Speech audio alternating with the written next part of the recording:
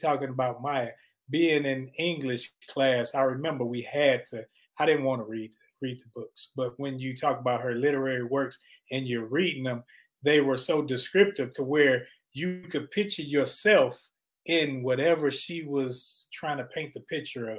You can see it, and I just want to add to that. And we talked about it earlier.